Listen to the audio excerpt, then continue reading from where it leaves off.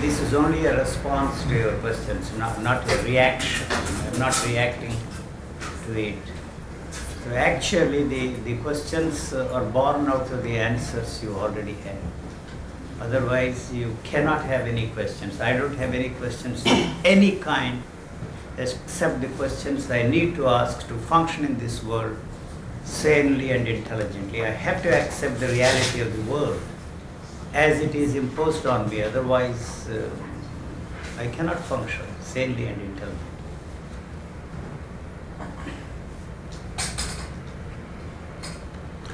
As a matter of fact, this, this is knocking off the, the very foundation of the logical structure which we have built there. Its interest is to capture this, put it this in the framework of your logical thinking, and through that it gathers momentum. So it's not uh, illogical, but uh, it, it, uh, it, the very logical foundation is false. It, it works, it helps us uh, in a particular area, but uh, it only sharpens the, the intellect which we are using. So what, what we always do is to use the intellect and that is not the instrument to understand something living. And there is no other instrument and you don't need any other instrument there. So to talk of intuition, to talk of uh, some other way of understanding, so that's not the instrument and there is no other instrument. If that is the situation, there is no need for you to have any other instrument. There is no need to understand anything. How that understanding, that that is not the instrument and there is no other instrument, It is something which you have no way of knowing. It, it just dawns on you that that is not the instrument and there is no other instrument. So there is no need to search for another kind of an instrument. So anything you want uh, implies that you have to think. Wanting and thinking are not two different things. Anything you want, what it doesn't matter what you want, whether the material goodies or spiritual goodies. The only thing you do is to think. And to be able to do that, you need some ideas it's given to us by others. But they are all false. I can say they are false. There's no point in uh, you were saying that they are false. See, the, the only problem that is there, the, the, um, the battle that is going on there is the demand to fit into the value system.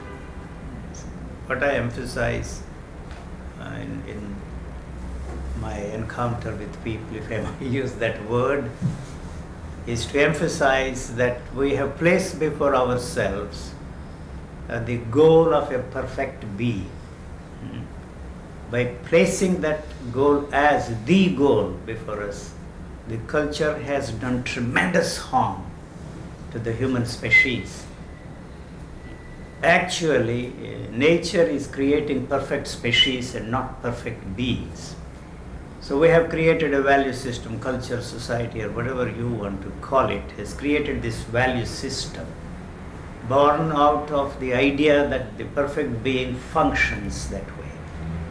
See, so there is uh, no way you can fit yourself into that value system, and that is why there, there is a battle. You can't throw that system out of the window or down the drain because you are forced to accept that that is the only valuable system that we have created so far and that you have to fit into that framework. That's the battle, that's the, the conflict that is there. So somehow, you see, that gives you the hope and we all live in hope and die. Sorry, I have said my piece. Anything? Uh, this is not a talk and I never give talks. I've said a lot of things. But aren't there any guidelines to this value system? The guidelines the are there, the whole ethical codes of conduct is, is there for us. But why is it a problem for us to fit ourselves into that value system? Why? Why does it have to be tomorrow? Take any of those things. uh, selfishness, for example. The society, uh, whether you are here in Hong Kong or in India or in America, demands that you should be free from selfishness. hmm? And uh, what is it that we are doing to free ourselves from selfishness? We have placed before ourselves the goal. We have accepted the goal placed before us that we should all be selfless. And so it is that that has created the selfishness here. There is no selfishness there at all. The demand to be free from selfishness is the one that has created the selfishness there. It's very difficult for you to understand what I'm trying to say. Supposing you want to tell yourself what is it that is here, what do you see there? Assuming for a moment that you can see something there, what you see there is the opposite of what you like to be, what you would, what you want to be, what you should be, what you should ought to be, what you must be. That's all that you see there. And um, what is it that you are doing to be free from selfishness? You are doing a thing. What you are doing is only thinking. That thinking implies postponing the action that is necessary to be free from whatever you are trying to be free from. So anything that is there, any any movement that is there, any action that is taking place cannot be false. Take for example the desire, if I may use that word. Desire is the expression of life. There is no point in saying that you should be free from desire. If you are free from desire, you will be a corpse there, I assure you. If you are really free from desire, you will be a corpse, dead corpse, if I may use that to emphasize that clinical death will take place.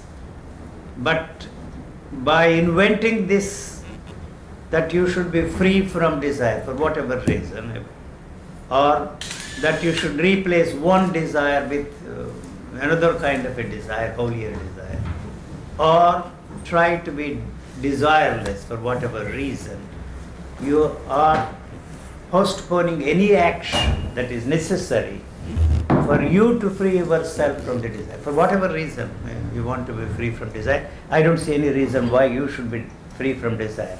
Because you have no way of looking at what you call desire. You have no way of looking at what you call selfishness. You have no way of looking at what you call anger, greed, jealousy, and you can sit on platform and harangue, you see, give lectures on how to be free from anger, how to be free from greed, how to be free from all those fancy stuff that we have been asked to free ourselves from. For whatever reason, maybe for the continuity and the status quo of the society, uh, such people are useful.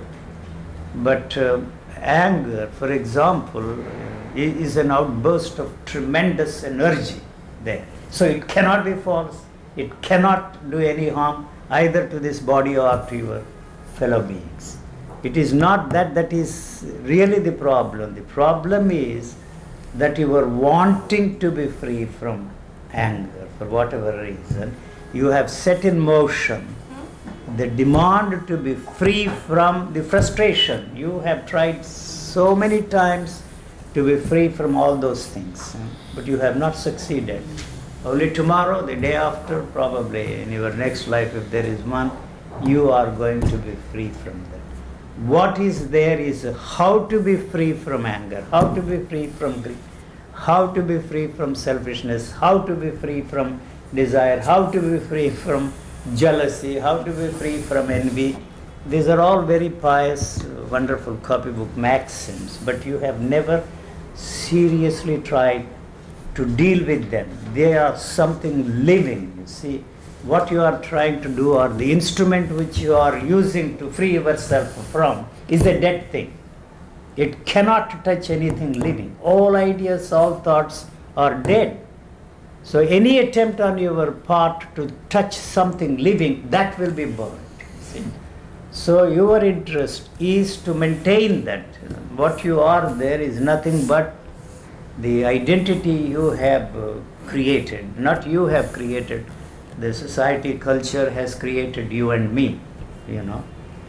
And so there is no way you can experience anything see, without the help of that totality of knowledge that is passed on to us from generation to generation. The fact that you are alive is something which cannot be experienced by you except through the knowledge that is given to us by the, the medical technology or uh, some other way. So, is it possible for you to be free from those things? I say no, you say yes. But that has to be only in the future. Why does it have to be in the future? Why there is no action now? What prevents the action? It is necessary if selfishness is really a problem to be free from that now, you see, at this moment, and not tomorrow and the day after. That means until tomorrow you will remain selfish, until uh, day after tomorrow until the end of your life you will remain selfish. There is no way. I'm not saying anything against selfishness, you see. The ruthless selfishness is something that will free you from selfishness and not the practice of selflessness for whatever reason you are trying to free yourself from. So that applies to everything that you are trying to be free from because there the jealousy for example you see I am referring to all these things because the whole ethical codes of conduct insist that you should, you see, be free from this, that, and the other. But we have never, never really come to grips with the real problem because there is no problem there. there is no problem there. The solutions that people the great teachers have offered to us are really not the solutions. If they were the solutions, the problems wouldn't be there. You know, if there is no way you can solve the problem, even then the problem is not there. What we are dealing with is the solutions offered to us by the great teachers of mankind. And we dare not question the solutions because that means you are questioning the teachers who say they have solved these problems for themselves and by themselves and offered us those solutions as the way out of the problems we are trying to solve problems. So, as I said at the very beginning, you have no questions at all. All the questions which you throw at yourself and others are born out of the answers you already have. If there is an answer, the question cannot be there. It's why we keep asking the question all the time, all through our lives. There must be something funny, something strange, something wrong with the whole business. So, if there is an answer to that question, the question goes. If the question goes, the answer goes. Naturally. If the answer goes, the one who is responsible or one who has given that answer as the answer for our problems, that teacher also goes. There, the sentiment comes into the picture, and we don't want any answers for the questions. I have said a lot, that's enough for you. You can, you can turn it off. I have said these things over and over. Yes. And I like to today, I will ask the same question I asked three years ago. Three years ago. You will continue to ask the same See, question It's uh, next to 10 years, 15 years. you're the guy, I mean, really perfect. You just, we open the mouth, you just blast us. No, I. I don't think I have any, I don't think I have any illusions that I can blast the whole thing. That has a tremendous Yes. momentum. It has survived millions and millions and millions of years. The problem is why you cannot fit this into that framework. You see, it is that that is fighting the battle. The moment you succeed and capture this, whatever I am saying, into that framework, you have destroyed me. It has to remain outside, and you have to leave this place with this question what is it that guy is talking? So, absolute rubbish. You can't figure out, you can't, it doesn't make any sense to you at all. If it makes any sense, you are not listening to me at all. You are listening to yourself. There is no way you can listen to anybody in this world Except in the school, even there you don't listen. The teacher talks something and uh, you listen to something else. So I, I can say without hesitation, I haven't learned anything from either the spiritual or even secular teachers in my life. You learn precious little from others. What is your question? What do you want? May I ask you, what do you want? Don't answer. If you say what you want, that means you are thinking. You know, anything you want, you can get it in this world. And this is the only reality, there is no other reality.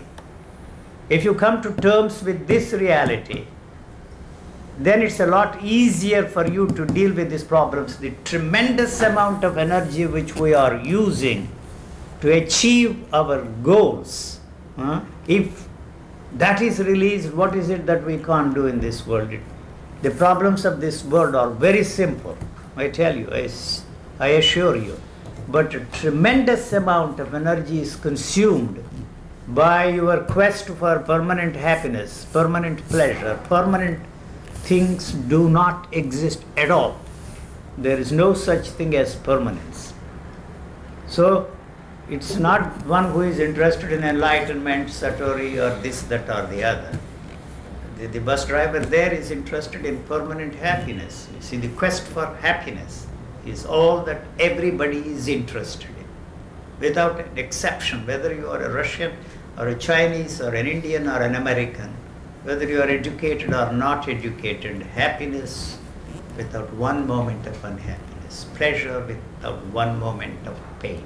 That's what everybody is interested in. God, truth, reality, enlightenment, um, all those things are nothing but the extensions of the same pleasure moment.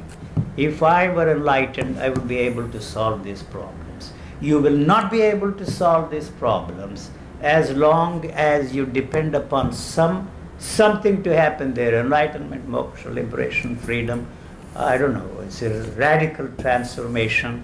All that kind of a thing is the one that is preventing the possibility of coming to terms with the reality of this world you see you see, you have to accept everything that is imposed on us. You see that this is hot, that this is, I don't even know what this color is, that this is a cup, this is water. But even that is questionable. When you begin to question the reality of everything which we have taken for granted, you will be in trouble.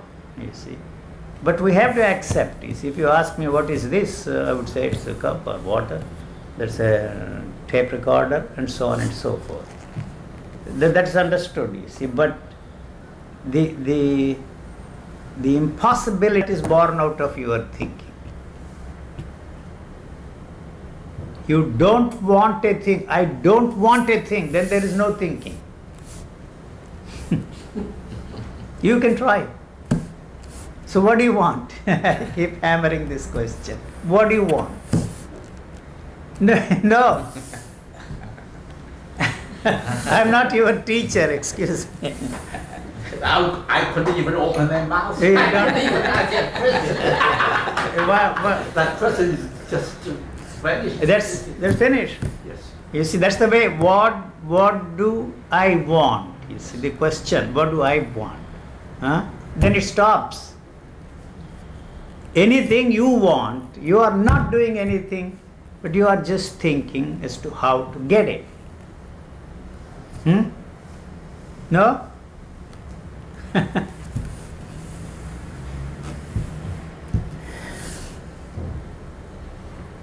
Why you are recording? I just turned it on again. Turn it off. All these bodies to recycle and to maintain the, the balance of energy in the universe. It's not interested. So we are not in any way harming, destroying the planet.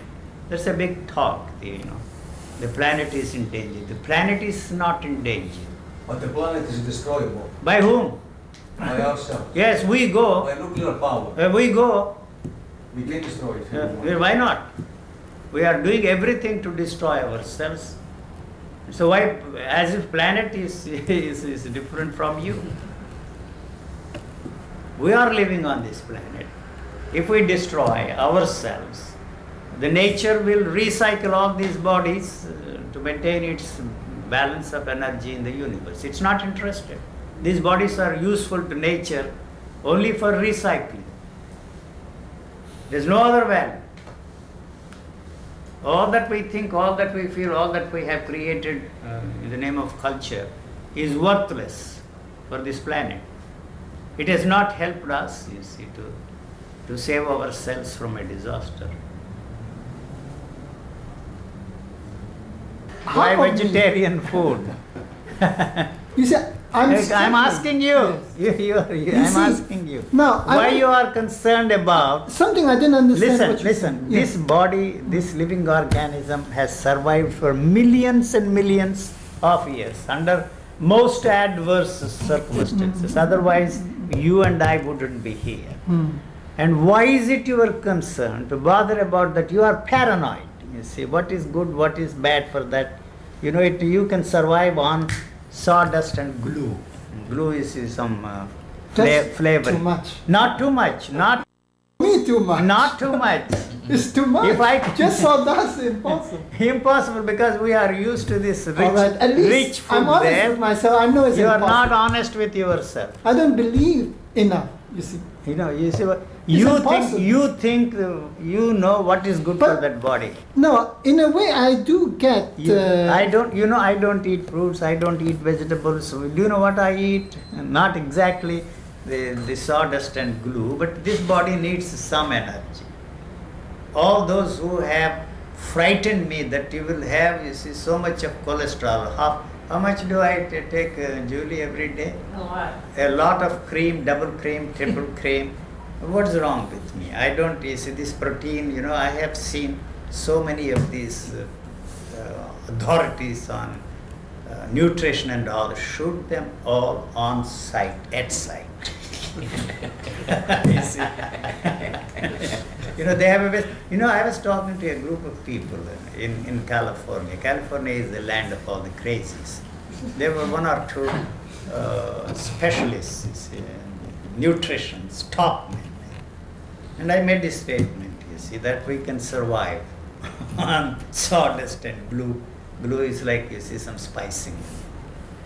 And that fellow said he's talking absolute rubbish. You see, don't listen to him. They, they. And one Russian woman got up and she said, for four years I survived on that kind of food mm. because we didn't have any food to eat when there was this Leningrad siege. You will be surprised on what we survived. We never had any illness, she said. No illness at all. I have known many people who lived in the concentration camps, you see, in, in China and in Russia. They survived so well. You know, I'm not recommending that to you. you eat You the, see, uh, you eat the macrobiotic food, rice and brown rice. The very brown rice puts me in a, in a blue funk, the color. I, I grew up on triple polished rice. What's wrong with me? I'm 72 years old. Do I look very sick and uh, emaciated? But I'm not recommending this to you. Please, you Exactly. do what you like. You Yeah, see, yeah, I'm- yeah, I have survived 72 years on that kind of a food. You see, that's all. Glue. Worse than that. Worse than that. The more preservatives you have in the food, the greater is the chance of preserving this body longer. That Yeah. is nonsense, excuse me. You may say nonsense, here I am a living proof. Honestly, if you say that food I, for a vegetarian, I don't eat vegetables. are- this is nonsense. Yeah, you may say it's nonsense. poisons, we know, you don't have to be a doctor. I don't have to- uh, Preservatives. You are a frightened man, you are a frightened man. No, I'm 55, I'm a vegetarian for 17 and I feel like 20 years old. Yes, I am 72, what about me? But you need that. Double, twice your age. Thank you, I have said enough. Thank you, sir. We What like time it. is it? We like it. Nice meeting you. you you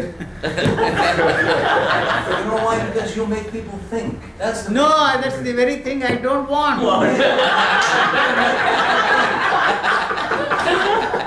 I want a troublemaker, but positive. Troublemaker. I'm an innocent man. Positive, positive one. I'm a For very people- innocent man. For the people who want to understand it.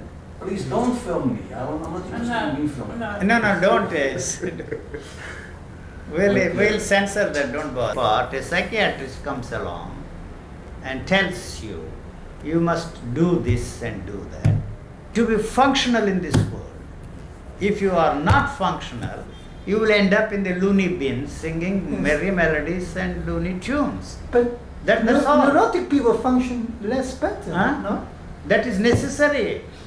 The whole culture is built I mean, on people fun- who, who are stuck with. Why are you talking of people in general? No, I mean me, for you example. are a neurotic Yes. individual wanting. So if I'm neurotic, I cannot survive uh, so you are. That is why you are surviving. Otherwise, you will be there in the mental hospital. Because if I'm in conflict, I can't even. you are in conflict. Are you not in conflict? Wanting two things at the same time. That is the one that is responsible for the conflict. You mean the conflict makes me survive? It In makes you feel that you are living. Without that, you are not there. If you don't have any problems, you have to create a problem to feel that you are living. And